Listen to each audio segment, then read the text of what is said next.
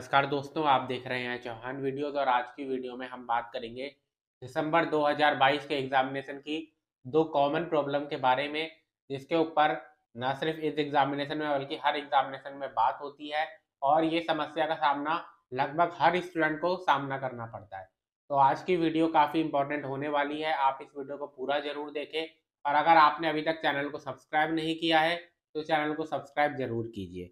तो वीडियो की अब सीधा शुरुआत करते हैं और सबसे पहले जो प्रॉब्लम लगभग हर स्टूडेंट को फेस करनी पड़ती है वो ये है कि दो एग्ज़ाम आपके एक ही दिन के अंदर पड़ जाते हैं।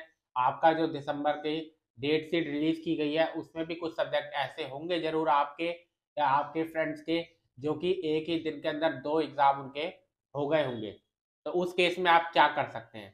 सबसे पहले अगर आपका दो इसमें केसेस होते हैं जब आपका दो एग्ज़ाम एक ही दिन के अंदर पढ़ते हैं। अगर आपके दो एग्ज़ाम पढ़े हैं, एक मॉर्निंग शिफ्ट में पढ़ा है और एक इवनिंग शिफ्ट में पढ़ा है तो आप दोनों एग्ज़ाम को दीजिए।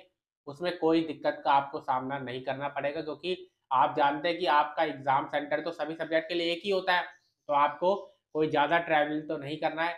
आप मॉर्निंग शिफ्ट का एग्ज़ाम दीजिए, एक घंटा वही इंतज़ार कीजिए और फिर इवनिंग शिफ्ट जो है, उसका भी एग्ज़ाम दे दीजिए। ठीक, इस तरीके से आप कर सकते हैं। दूसरा केस लेकिन वो होता है जब आपके एक ही शिफ्ट में एग्ज़ाम पड़ जाए, यानी कि मॉर्निंग शिफ्ट में ही दोनों एग्ज़ाम है या इवनिंग शिफ्ट में ही आपके दोनों एग्ज़ाम है। अगर ऐसा होता है, इस केस में आपको एक एग्ज़ाम को लीव करना पड़ता है।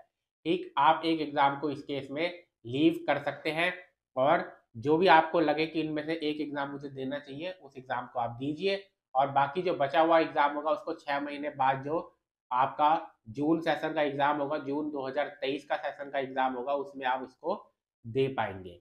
आप इसमें एक काम और कर सकते हैं कि आप इग्नू को इसमें मेल कर सकते हैं date sheet at the rate IGNOU dot A C dot in जो कि डेट शीट में पॉइंट नंबर फाइव है, उसमें अच्छी तरीके से इसको एक्सप्लेन किया गया है डेट शीट के पॉइंट नंबर फाइव में, कि date sheet at the rate IGNOU dot A C dot in पर आप मेल कर सकते हैं, अगर आपका जो सब्जेक्ट है, वो दो सब्जेक्ट एक ही दिन और एक ही टाइमिंग पर पढ़ रहे हैं। तो ये काम आप कर सकते हैं। दूसरे टॉपिक के ऊपर बात करें तो वो है असाइनमेंट और थ्योरी एग्ज़ाम आप हिंदी में लिख सकते हैं तो उसके लिए क्या करना होगा? इसके ऊपर मैंने एक वीडियो पहले भी बनाई थी, जिसमें आपको बताया था कि थ्योरी एग्ज़ाम जो होते हैं, वो आप हिंदी में लिख सकते हैं। आप सिंपली क्या कीजिए कि प्रीवियस ईयर क्वेश्चन पेपर जो है, उसको डाउनलोड कर लीजिए, जिस भी सब्जेक्ट का आप एग्ज़ाम देना चाहते हैं, और आपका जो प्रीवियस ईयर क्वेश्चन पेपर है, यानी कि जो इग्रो का क्वेश्चन पेपर है, वो जिस भी भाषा में लिखा गया होता है, उस भाषा में आप उसका जवाब दे सकते हैं। अगर कोई क्वेश्चन पेपर है जो हिंदी और इंग्लिश दोनों में लिखा गया, मान लीजिए आपका क्वेश्चन पेपर है हिस्ट्री का तो वो अगर हिंदी में भी उसके क्वेश्चन लिखे हुए हैं और इंग्लिश में भी क्वेश्चन लिखे गए हैं तो उसका मतलब ये है कि आप उसका आंसर हिंदी में भी दे सकते हैं और उसका आंसर इंग्लिश में भी दे सकते हैं। बस आंसर सीट जो आएगी आपकी, उसमें मीडियम जो है वो हिंदी लिख देना आप और बाद फिर उसका आंसर आप हिंदी में भी लिख सकते हैं। ये लेकिन लैंग्वेज कोर्स के ऊपर अप्लाई नहीं होता। आप जानते हैं कि अगर इंग्लिश का लैंग्वेज का एग्ज़ाम है तो उसके सारे क्वेश्चन इंग्लिश में ही लिखे हुए आएँगे। तो आपको फिर उसका इंग्लिश में आपको उसका जवाब देना होगा। तो ये बात आपको ध्यान में रखने वाली है। तो आप हिंदी में आप किसी कोई भी क्वेश्चन पेपर होता है तो उसके आंसर लिख सकते हैं।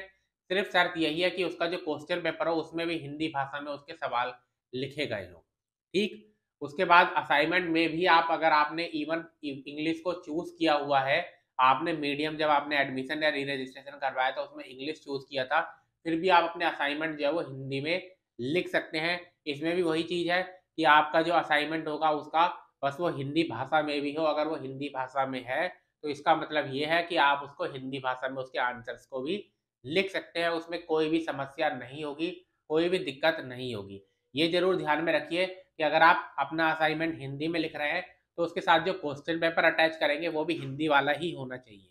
ठीक? तो अगर हिंदी भाषा में आप अपने असाइनमेंट लिख रहे हैं तो उसके साथ क्वेश्चन पेपर भी हिंदी भाषा वाला ही आपको लगाना होगा। तो ये चीज़ आपको ध्यान में रखनी है और फिर आप अपने असाइनमेंट्स को और थ्योरी एग्ज़ाम को हिंदी में लिख सकते हैं। ये, लेकिन जो रूल है, वो लैंग्वेज पेपर पर अप्लाई नहीं होता। अगर आपका मान लीजिए कि बंगाली लैंग्वेज का पेपर है तो आप उसको बंगाली में ही लिखेंगे। अगर आपका संस्कृत का क्वेश्चन पेपर है तो उसको संस्कृत में ही लिखेंगे।